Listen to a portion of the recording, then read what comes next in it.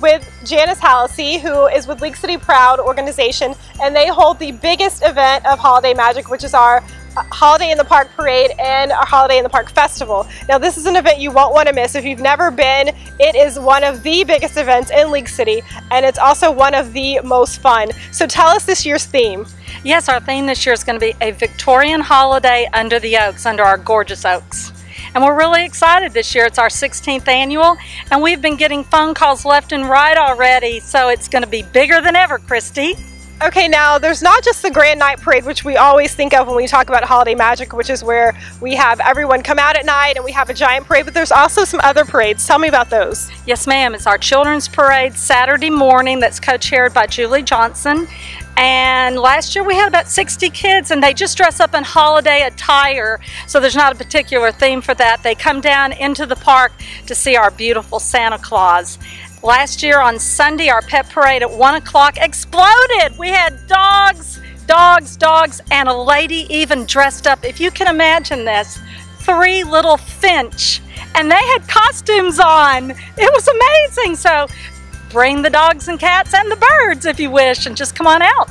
And one of my favorite parts of holiday magic, especially for the kids, is the snow. Are we having snow again this year? What would it be without the snow? Of course, we're going to have snow right over here by the gazebo behind Santa. We will have Santa both days in the gazebo, and the snow will come in at about 1.30 on Sunday.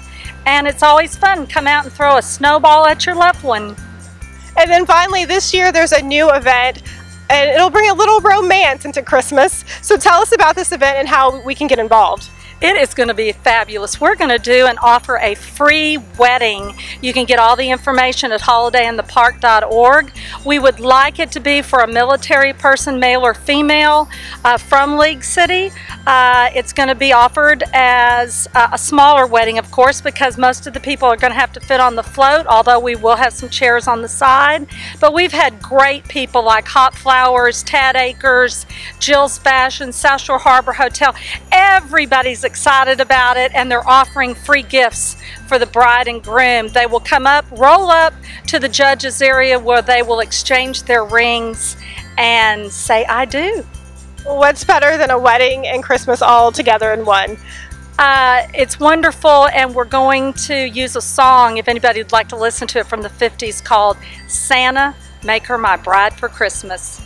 Well, that's just perfect. Now, you don't want to miss this event. You can view the full lineup of everything that's happening that weekend for Holiday in the Park on their website at holidayinthepark.org. And you can also visit our website at Holiday Magic or LeagueCityHolidayMagic.com to find out more information about all the events going on this holiday season. Janice, thank you so much for being here and thank you for 16 great years of Holiday in the Park. It's been fun.